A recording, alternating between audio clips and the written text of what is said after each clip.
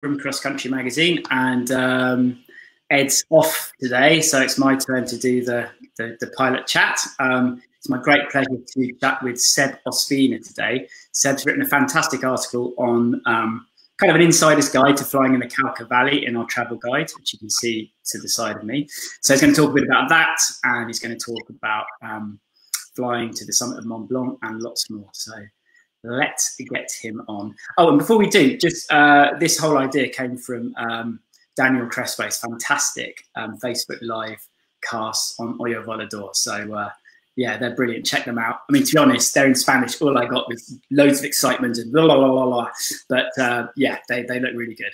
Anyway, let's bring on Seb now. Seb is in Interlaken uh, in Switzerland uh, with a map behind his head. Hello, Seb.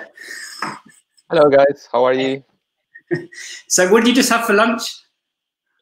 Uh, I'm about to have some zucchini, stuffed zucchini with some lovely couscous and tomato and, and cheese. Very nice. Yeah. So, so you're over there. You've, you've been in Switzerland for a month. You're um, a tandem pilot, right? Yeah, yeah. I've been in Switzerland for a month uh, now, but well, uh, I haven't managed to work too much in the last couple of weeks. So is it like, uh, I mean, we're not going to mention the C word. If you mention the C word, you have to drink a sip of tea. Okay? That's the okay, game. Okay, I got my tea ready. C word.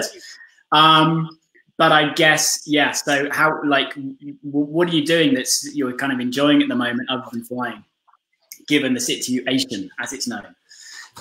Given the situation with the C word, um, I have to say uh, this is probably one of the best places to wait for for it to go away.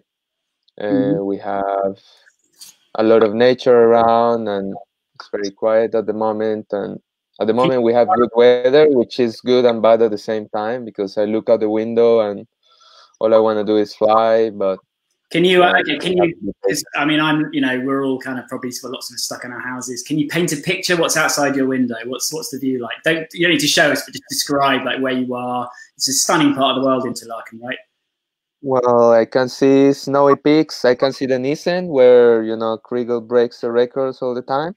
Uh-huh. Um, I can see all the big mountains and lovely sunshine, puffy clouds. Oh, stop! A nice valley breeze.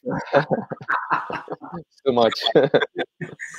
um, and so you work as a tandem pilot. Um, uh, I hope you treat your passengers well because I went.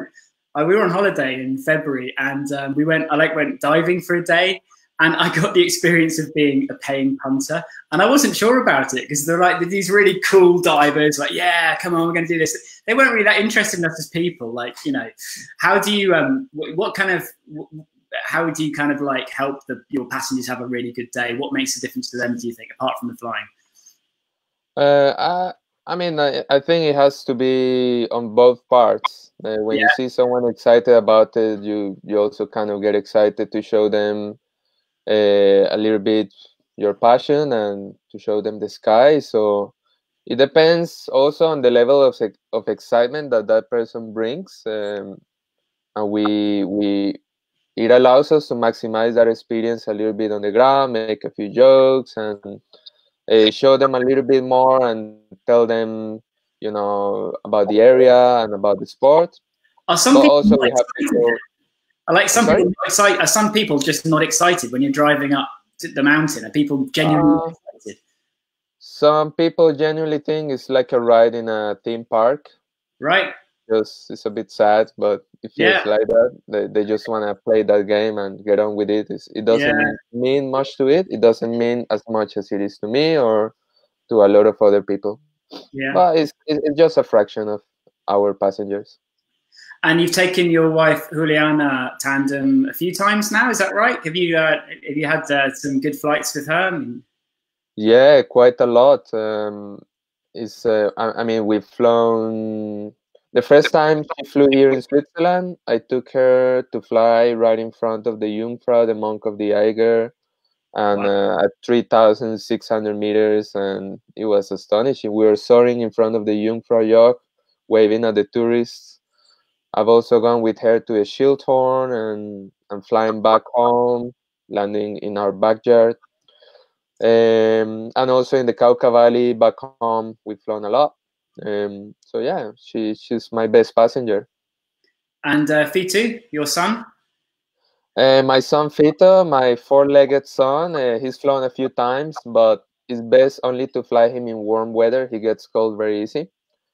So, so I, yeah, I, I, I, would wait until like the middle of summer. That's when he's most comfortable in the air. From what I've seen of Fito, he kind of enjoys being on takeoff the most uh, with with the other dogs. yeah, let's say he likes it human style. Right.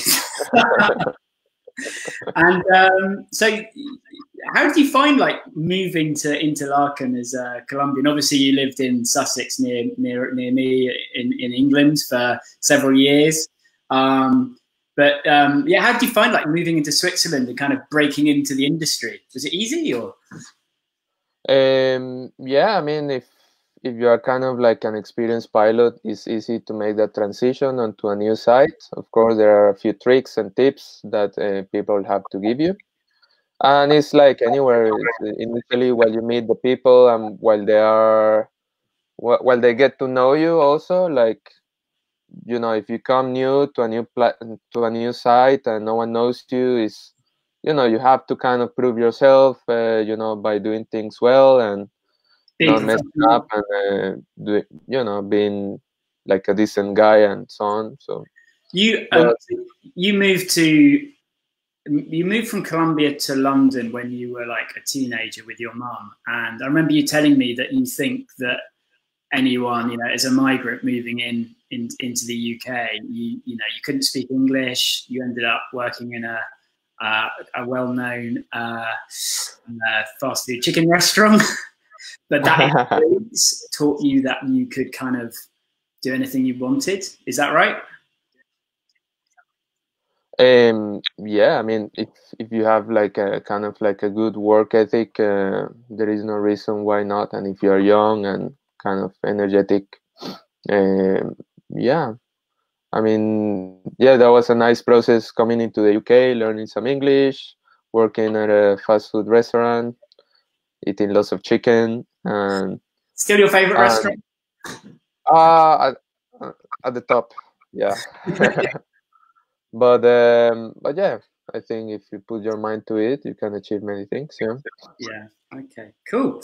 Um, so eh, I thought we might like show one of the clips. Um, where should we start? Should we start with Brazil or Mont Blanc? What would you like to talk about first? What was the first option? Brazil flying the flag. Oh, we, can, we, we can talk about Brazil, yeah, of course. Right. Uh, I'm not an expert at this technology, so bear with me. I'm going to try and find a clip. I think this is you got you on final glide, um, just to set the scene. So I'm going to hide myself, and then you're if you want to talk as this as this shows, feel free. Um, but you won't hear from me till I come back on the screen. Okay, lucky you. Here we go.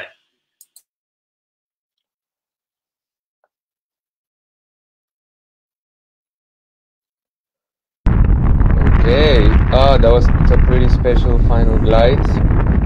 Uh, that's when Seiko first broke her, her distance record, and I think it was also declared female distance record. Uh, we were flying that day with uh, Charles, Seiko, Felix, Manuel Quintanilla. We we at the end we separated a little bit. I wanted to optimize uh, for the furthest distance and Seiko and Charles they went for the declared goal uh, that she had set, which was a bit more to the left. Uh, it was a pretty special day. I think that day I flew 470 something kilometers, and I had to walk three kilometers in the dark to find my car. But yeah, it was fun. And uh, can you tell us more about like your experience of um, towing there versus uh, foot, foot launch from um, Quixada? What's what's it? Because what, you've just you started towing in the last what two years, and, and you're very convinced by it, right? Absolutely, totally convinced. Uh, I mean, I, I, I did the Quixada thing, and it's so scary that it's really. I, I mean, you've done it as well. You went with Mark a few years back and uh, it's just the the how anxious you are in the morning is you waste a lot of energy just being scared about the takeoff. And with the with the tow it's much easier. It's on the it's not only is it uh, spine back but it's also kind of the side of a shoulder. So it's just set up for the wind to just push through exactly where yeah, it pushes too hard and uh, it's just scary. And um yeah, with the tow field, it's just that initial pull that it might pull you a bit too much and so on, but you have lots of people around you helping. And once your glider's flying, you just go up like crazy. Most of the days we were reaching almost a thousand meters and still going up. But if you want to break a record, you have to release before gaining a thousand meters. So we very often had to release when the glider was fully pressurized at the back but it was still fine. You get used to it. So talk me through that because i've seen videos of um, seiko launching in australia where she's she pulls her wing and she's just off her feet and back straight away. Is it the same in in Ceará? Um funny. I mean, uh, we've seen videos of the um, of the people taking off in Caicó and in Parelhas and Tacima, and it looked a lot windier than where we were. Like I rarely had any any situation in which I was like, "Oh, that's too much wind." Okay. Most of the time, it was very manageable, but actually, we wanted it to be non-manageable because that's the wind that will take you far and fast but very often it was like almost zero wind and then maybe you break through the gradient and maybe you find some wind but uh, very rarely it felt like scary so you were taking off in like 0 to 10 mile an hour of wind sometimes and it would still be windy yeah, up easily. okay yeah. so when you so okay so you weren't like taking off you, you were kind of releasing over the top of the tow you weren't kind of like way back from the tow when you released no, we would actually be going forward a little bit, yeah, yeah. and then fly back. Yeah. And the video we just saw, like that, just captures the beauty of XC flying for me because it's those last like two or three hours in the glassy air when you just, yeah, you just keep like feel like you can go on forever. and your glide angle's like thirty to one. Is is that what keeps pulling you back, or is it other things? Uh, bringing me back to Brazil. Uh, yes, uh, I mean yeah, that feeling, uh, the training that I get out of it is impressive. Uh, flying with friends is also such a really cool, cool experience that uh, I want to do over and over again. And pushing how far I can go, and yeah, I mean, I, I still haven't done the 500 Hugh, so I, I, I wanna, I wanna get it. Didn't you? Didn't you leave the day that the other guys did the Harry's just texted out. It was a slight tailwind. Someone was. You leave you did 555 or whatever it was? I mean, was that right? Yeah, I think I was at the airport or on a plane or something like that. And we're oh no, I think I was at the airport with Mitch Riley, who also left that day. Uh, I mean, we flown together this whole time, and we saw how they were flying fast, so so fast, and so so far. Like, wow, they're gonna smash it! And I think we may we may have been still in Brazil when that happened. Were you or like right until the plane took off and the signal cut out? Pretty much. I think it was something like that. Ridiculous. and then you landed. Ah. Shite. but yeah, I mean, I missed it. I missed it. Should have stayed. Should have stayed a couple days more. And uh, yeah, but it, it was a bit funny because two days before I remember everyone was going crazy about the forecast, and this is yeah. like 600 kilometer weather, blah blah blah blah blah, and everyone. We are so excited. We took off super early, and we tried to make a like a really good team. And that day, we only flew like 460. Okay, so that we got like a big feature on it in issue 206, and um, it's kind of um, Rafael Saladini talks about like um, how they've learned to sort of team fly because there's you know a core of like five Brazilian pilots who really have learned yeah. to stick together. Um, is that something that is easy to do when you're flying XC with friends? No, it's definitely not easy. It's, it's something that you have to be with a, a team. I think, in my opinion, that is not too big mm-hmm. of pilots that have a similar kind of flying mentality to you and uh, that are on similar form. You know, like the performance of a pilot goes up and down. You know. Yeah. And ideally, you want to match with someone who is flying more or less at your same level. Yeah. Um, and who is willing to push as much as you and who is happy to hold back as much as you. Uh, so that's actually a very hard thing to find the right people to fly with. Okay, and maybe the Brazilians have the edge because they've got that kind of got that sorted now that they they they they know to um, to fly in a different way. So if they're high, they'll use their advantage to help the others rather than to help themselves. So they'll they'll push on and find find lift. Rafael Saladin is kind of like um, he, oh, Lucio saying he's releasing a documentary about team flying. There we go. And he's seen it. Well, we've also, Erin McClurg is writing a book, and um, there's a chapter by Raphael in that as well about team flying and some tips. And uh, yeah, I mean, it doesn't matter if you're flying 20 kilometers or 200, if you can do it with three or four other people, not only is it way more fun, but actually it's much more efficient, isn't it? Like geese, loads of loads of migrating birds fly as gaggles, so should we. Yeah, yeah, absolutely. I mean, we've done that, you. We've flown as a team with uh, you and Luke, and it's so much fun. Generally about you the right people. It's so nice. it is. It's great. we were generally about a kilometre ahead of me, but yeah. Um, so uh, let's just think about. Um, can we move on to thinking about um, your sneaky. I don't know if you took a sick day or what. I mean, how do you get a day off to go flying when it when you work for a tandem paragliding school? You can't just pretend you're ill. I mean, they'll just look at the forecast and go, "Nah, we don't get that." How do you get a day well, off?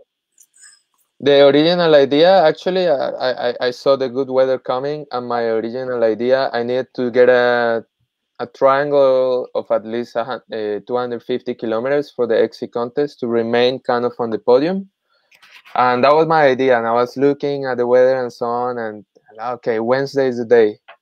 And then i asked a friend of mine who a colleague who who was injured most of the season but he he had just recovered and he needed to work a little bit and he was happy to do tandems and he didn't look too much at the forecast thankfully.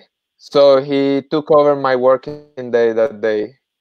Uh yeah it's, a, it's a little bit Okay, so should we have a look at which day was it? Was it June last year? There's quite a few pilots went and flew and landed on Mont Blanc, right? Yeah, I think it was somewhere around end of June, beginning of July, I think, something okay. like that. Okay, so I'm gonna like stick this up on the screen, and then I'm gonna hide myself again, and um, yeah, just feel free to talk. This is you flying in on the approach to uh, Mont Blanc, uh, and it shows kind of yeah your your thinking and, and, thought process on the way in. So just talk us talk us through it if you can, and I'll I'll disappear and I'll stop playing in a sec. Okay, so here we have the Mont Blanc right in front. I'm pointing at it. Uh, uh, um, I just need at more than 3,000, maybe even 4,000 meters at that point. Uh, once we get to the Italian side, there is uh, a lovely rocky area that is facing the sun. That's where all of us just got pretty much the last climb and then up to the Mont Blanc. Um, the cloud base that day was somewhere around 5,500, 5,600. Uh, and there were lots of people of all flying levels and in all sorts of wings. There were people on two liner, there were people on beginner wings, on tandems. Uh, my original idea was to go on my Enzo 3, but then I was a bit worried of taking off again at such altitude with my huge harness, so I decided to take my hike and fly gear. Um, after that, we we took off again and we flew to the north face of the Matterhorn. Cool. Shall I show the next clip? Oh yeah, yeah, sure. Okay, bear with me a sec. Here we go. Right, I'm gonna hide myself again. I think this, yeah, this might be you. I think you've landed here and you're just kind of looking at the view out.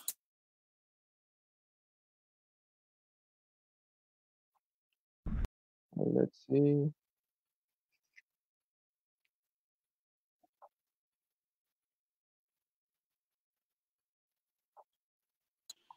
That didn't work very well, did it? No. let's try this one. Hang on a sec. See if this works. Right, let's play it and see if it works. Oh, there yeah, we are. Okay, let's take the selfie together and leave. Let's take a selfie and then take Look off. at this. Cross bases. That's what everybody did that day. And you can check out the cloud base. You can see those tiny dots in the blue sky. I mean, we're standing in the top of Europe, and you still see gliders much, much higher. So how, how I mean, base was how, how how much higher than the summit was cloud base that day? Uh, I don't know, 500, 600 meters, something like that. Wow. Yeah, Did you feel, very high. did you feel any l- lack of oxygen when you were that high? Um, yeah, a little bit. I was feeling um, kind of like almost kind of stoned or something like that. You know, like uh, yeah, you do feel it, and you know, a, a bit short of breath. I would say, moving around and going. I saw so many friends over there and moving around in the snow with summer shoes and so on. Uh, was not probably the best idea. And, Yeah. but um, but yeah, yeah, it, it was an amazing experience. We went a bunch of friends. We were like eight pilots from Interlaken, and we all made it. And a bunch of us uh, later took off and went cross country again. Where did you fly to next when you took off from Mont Blanc? Uh, we flew over to to uh, it on the Italian side a little bit, then to Switzerland, and over the big peaks, you know, the Grand Combin and all of that. Wow. uh, in the south of Switzerland, and uh, we reached the Matterhorn, and we spent ages trying to get up. There was there seemed to be a little bit kind kind of like a convergence going on right in front, and we are trying to use it as much as possible.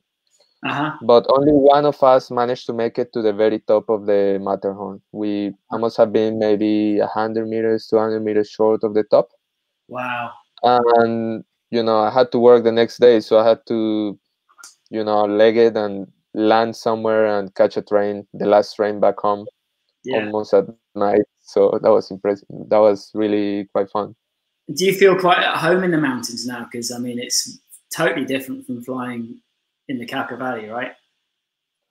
absolutely i think uh, when i first moved into switzerland i lived in Verbier for a while and i got more and more familiar with it but i remember my first proper xc in the alps was also not in the right conditions i was in the south of switzerland but with kind of almost foehn wind Mm-hmm. and I remember landing and trying to work out how people managed to fly so far in these shitty mountains. But then I had the chance to try in some nicer conditions with not much uh, meteo wind, and then I understood. And, and uh, I've been trying to work out the mountains more and more.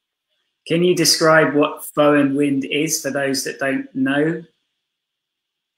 Well, you have the north and the south foehn. That particular day, we had um, um, a little bit, tiny bit of uh, south foehn, which means that uh, we're flying uh, a little bit in rotor. Um, you you feel a bit warmer air. It feels also kind of um very often more inverted and more sticky. And you find lift where you shouldn't really find it, and sink where you shouldn't really find it, and it's definitely not ideal to fly in these kind of conditions. And also a lot of wind where it can really scare you. I was going to say it's not just about it being super windy. It's it's a different kind of air mass, right? It's like a sticky. Absolutely, yeah. It just feels a bit wrong. Yeah. It's just really unpleasant. Yeah. Okay. And is that is it is it at all similar to like the sea breeze coming in at Cauca Valley, which seems to happen at sort of three four o'clock most days near Roldanillo? I mean, sea breeze is just a bit breezy, and that's all. It's just wind. You definitely it's a bit hard to get up. Uh, you get the very every now and then some punchy thermals, but uh, but that same breeze you can use the you know in, on the right days you can use it to to take advantage of and to find a nice convergence line and fly away Mm-hmm. is something that perhaps is a little bit harder to find with uh, with the foehn. Yeah. Uh, perhaps someone like Chrigel or some top pilot from the Alps can manage, but I'm probably not at that point yet. Um, but in the Cauca Valley, you can use this uh, Pacific breeze and try and find a nice lifty kind of convergency line to to do some nice distance. So uh, the um, Cauca Valley is um, a feature in the travel guide, which is available for free for everyone now on our website, xcmag.com. And Seb's written a very, very nice kind of insider's guide to the Cauca Valley. Um, so let's come back to sea breezes in the Cauca Valley at the moment. But I want to kick off by asking you about your quite controversial statement that um, Roldanillo is not that suitable for pilots who have 50 to 100 hours. Can you say more about that? yes, rather controversial for many people. Uh, but I don't know. I think I went through a very good, you know, it could be Colombia uh, 15 years ago or 16 years ago, but I went through a very good uh, teaching process. Uh, I was taught very well and I did the whole process really well, ideally, initially.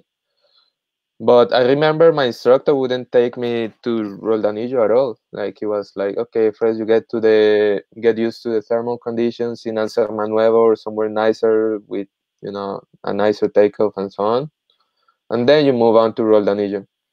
And I mean, I tried to think of myself as a my 50 hour pilot. I wouldn't be able to work out uh, when the sea breeze would be coming down you know, where outset. because the look really good above you, and suddenly the, the, the, trees are it's like blowing 25 miles an hour beneath you. So, and that can happen at two o'clock. So, I guess is that is that the main issue? Do you think with Roldanillo and, and its position in the in the valley for, for lower? Yeah, I mean the, the, the positioning in the valley and the, the, the fact that the sea breeze comes a bit earlier than some other places uh, the fact that there is no official like super wide landing field where people can just yeah. go um, the fact that well in the takeoff that we used to have in los tanques that is not used so much anymore uh, we used to have what you call like a false headwind so yeah. the rotor comes and maybe you get a bit of thermal and and then you take off it's nice and then 20 seconds later you're hitting some super rough air and that's how actually people have you know perished like that yeah. and um and the other takeoff which we use uh, that i like a bit more is just the glide angle to get to a safe landing is it, it can be sketchy on the wrong day or with the wrong pilot or if you have like a knot or something. And if you can if if you then go to a place like Piedechinche where you can be on a speed wing and still make it and you can fly many many times on one day and you know when when, when you are a beginner you want to first try the morning easy thermals or the late afternoon thermals before they put you at midday there.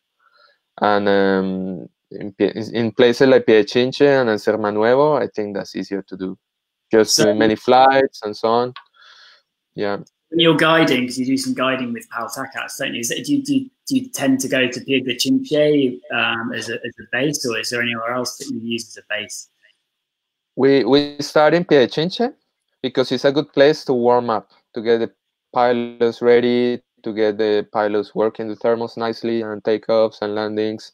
You know, pilots are coming from a very cold season in the northern in the northern hemisphere and are probably not that good, on shape in shape and uh, so we start in Piedechinche to get everyone going and then once they are ready we take them to Roldanillo we, we try to fly to Roldanillo from, from and then we spend some days in Roldanillo and then we try to fly back to Piedechinche from Roldanillo and you, uh, you mentioned Apia. Can you describe Apia to us? Well, uh, Apia, I've only flown three times in Apia, uh, and that's when I was trying for the Colombian record. Uh, my impression is that the, the town of Apia is really kind of pushing for to develop this flying site. I never landed at the you know like the official site for landing, so I don't know it. I wouldn't be able to tell you. but it's a pretty cool place to start your cross country flights in the morning and probably head to the north if the airspace is allowed because it's always an issue. I don't know, but uh, it's a cool place to start early.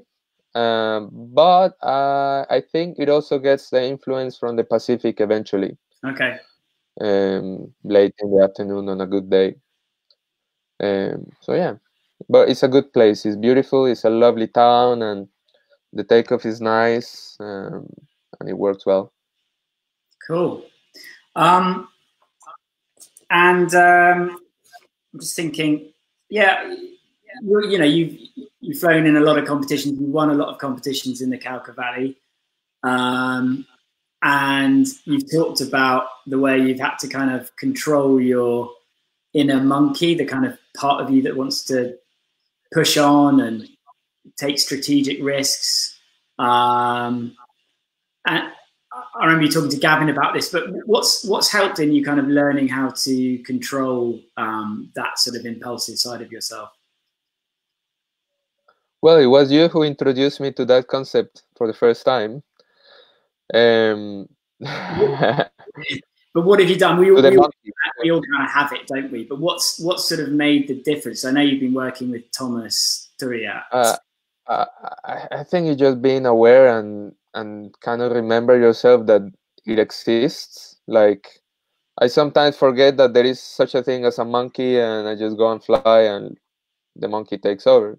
So I, I think just being aware that it exists and uh, it, it's very much alive, and you need to control it uh, is it's kind of like a mi- mindfulness thing, I would say. Uh, and it it depends on the day. There there are days where the situation just lets my monkey be and might be a good or a bad thing. But in, in, in, in Colombia, I seem to be every time a bit more controlled, just simply because I feel like uh, I have nothing to prove to anyone there. You know, uh, I have the record and I won a few nice comps over there.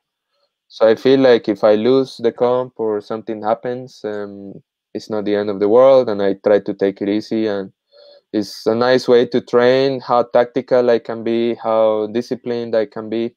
Yeah. But uh, it's like Ross says. The, the, the, I think Ross has he, he he talks a lot about discipline, but it's not about like waking up and doing 20 push-ups and then whatever going for a run. It's more about being disciplined with uh, with yourself like with your with your plan. Stick to your plan like okay if i wanna if today i just wanna pimp uh, i should stick to it. But often what makes uh, makes you break that discipline is your monkey. But if you remind yourself that what you want to be is disciplined perhaps it's uh, it's a good way to counteract it. Yeah yeah. Uh, okay controversial one. Which is more important for like um, pilots who are just starting to thermal and cross country, the kind of pilots who you maybe you've done a bit of guiding with, would you say observation is more important or glider handling? I think uh, glider handling uh, brings up the the observation because right. if, if you can handle your handle your glider and I feel it with myself like if I go with a glider I don't like or something like that I'm focusing more on the glider than on observing so I think when you when you're able to handle your glider good, uh, your bandwidth is uh, you know big enough so that you can focus on observing without thinking about your wingtip or turbulence or mm-hmm. other pilots. You have one less thing to think about, and okay. of, of, course, in, in, a tactical sense, observation is super important. But I think um, glider handling is uh, more important in many ways. And what kind of things do you tell pilots that you've seen have helped them with their glider handling in thermals or in other aspects? What sort of things have stuck with pilots, would you say? Ah, that's a good question. I just need to kind of think about it. Um, I think the best way to teach uh, a little bit the, the, the, basics of glider handling, and I have to say um, I'm not Pal Takats or Russ or anyone specialized with that issue. But for me, ground handling is a good an amazing way to improve your glider handling in the future. Mm-hmm. So I, I think uh, you know that's one of the initial steps, but uh, I and I it's also a controversial thing to say here, but I feel that many schools uh, they just get you through the process. They make you do a little bit of ground handling. They make you tick off the box where it says that you did a reverse launch, and then you keep going onto many other things, but you kind of forget the basics. I, I think, uh, at least in my process, my my teacher was very pushy with the whole ground handling thing, and I'm very thankful for that because. Uh, it, it, helped me a lot to fly safer in the future. So yeah, uh, for me, ground handling, if you know, right now I think it's, it, it doesn't hurt to go out to the field and you know you're not flying and if there is a nice breeze. Uh, I still do ground handling to these days, and if I have a new wing, very much, uh, many times, uh, the first thing I do is ground handle it. That way, yeah. I can find out how long the brakes are and how he reacts uh, to, to, the brakes, if he shoots too much, if he doesn't shoot enough, and yeah, many things. Yeah, I guess it depends which country you're in. Because in the UK at the moment, we're encouraged to just not not ground handle, just because it's kind of like we have small hills. People might see see that we're flying, so actually ground handling is kind of out as well. But um, but yeah, definitely something yeah. to pick up on when we get back back there. Um, okay, cool. Um, so I saw you um, full stalling your Zeno uh, just casually, kind of before the start gate um, two or three years ago. You weren't dropping it into, you know, you were just dropping it in and then holding it, coming back. Let's do something physical now. Can you show us with your hands? Can you get your hands up? Go back a bit. Yeah. Can you show okay. us the proper technique? That's it. for stalling a two liner. Okay simple as a three liner, right? Let's see. Let's do it. Come on. I don't know. I just push, push, push. The tips go back. Then I don't want to let them touch at the back because that's kind of bad and they can tangle. So when the tips go back, then I let go a little bit and then catch it again, and it should kind of go like with the tips backwards. Are and you then, uh, are you watching your wing whilst you're doing this? Yeah, totally. And really? I'm also assuming a more like um like acro style position on my harness. I, I try to keep my legs in instead of fully out like on the cocoon. Yeah. To keep my center of gravity a bit more stable. And are you, uh, are you one of these pilots that just goes in full stalls? Because like I know everyone keeps going on, you should do 300, you know, full stalls. I do maybe an average of one and a half a year, and and they stay. And I know I should do more, but I suspect I do more than like ninety percent or ninety five percent of of pilots, and it's it's nothing. So, um, yeah, what what do you do? Do you do a lot? Um, I do a lot a lot of like uh, baby stalls. I would say I, I don't think they're fully stalls because the the glider does start flying, does stop flying, and it deforms a little bit, but um, does it just? I don't let it go into back flight too much or anything like that. I just let it go straight away. Okay. So it's more like a parachutal kind of thing, and then the glider get, gets so wiggly and then flies off. Does that count? Can we can we tick can we tick one off for that? Is that okay? Can we tick tick, tick one off of the three hundred? okay. Good. Um, yeah. All right, a couple more questions before I let you go. Um, favorite wing ever? Uh oh. I have to say I have two favorite favorite wings ever. one. one is the okay the the Enzo three. It might sound biased, but I I love that wing. Yeah. Okay. And I'm, I'm about to hit my third Enzo three, so really I really love it. Yeah. Yeah. Um, still with the Superman blue and red colors? No, no, I changed. Now I have a, um, a gold and blue. Okay. And um, favorite site ever? If you could only fly one site for the rest of your life, which would it be? Whoa. Um, oh, that's a good question. Um, some in the Alps, probably here even. Really? Not, yeah. not Colombia. Um, I, I, mean, I love Colombia. Don't get me wrong, Hugh. But if you yeah. give me epic, it's getting angry right now. if if if you give me epic conditions uh, in Colombia and epic conditions in the Alps, I choose the Alps. And how do you spell Colombia? With a O, with an O. One of your bugs. Colombia, not Colombia. All right, just last question. Um, I guess a lot of us have been, you know, such a big change. We're not mentioning the C word, I'm not mentioning it, but it's been a big change in the last three weeks, four weeks. Um, have you kind of like, has anything, have you, have you been left thinking about things and, and one, you know, if you come up thinking about what kind of matters to you or who matters to you? I mean, who's, who's, um, who are you going to kind of look forward to seeing when all this is over? Uh, well, just going back home and see my family back in Armenia, in Colombia. Mm-hmm. Uh, we've been in touch a lot, and uh, it's it's kind of a nice time to to keep in touch with people. Like we've been talking more more than more than before uh, to back home. So I think that's kind of nice. Cool. And is there anything you're gonna want to do more of that that, that you've, you've reevaluated? Like, how do you want to spend the rest of your days? Sounds a bit grim, but I mean, how do you want to spend the rest of your life? What's, what's what matters to you now? I think uh, you know being close like this and looking at this sky, which is looking wonderful, and uh, I just want to keep doing more of more of everything. In fact, uh, I wanna I just got a new hike and fly wing. I want to really use it. I want to get the most out of it and and maybe do some easy vol bivs with friends and enjoy the mountains. Uh, a few missions and maybe do a bit more kite surfing and maybe get around to learning proper acro.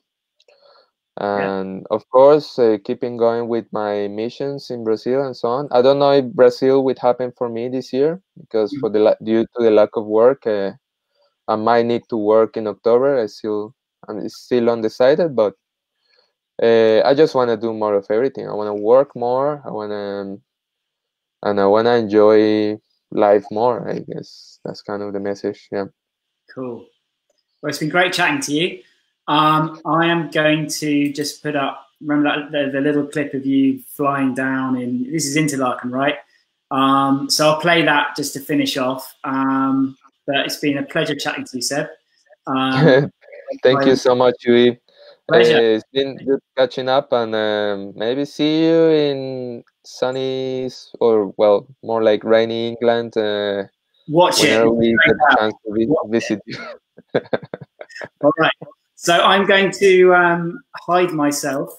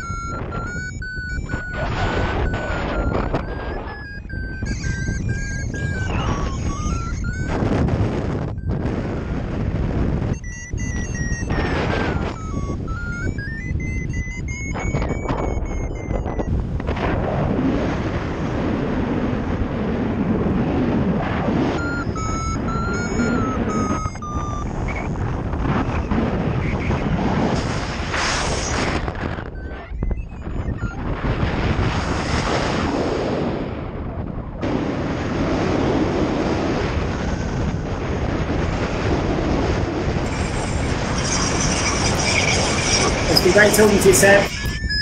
Take care. Hey, take care, you. Take care. Bye.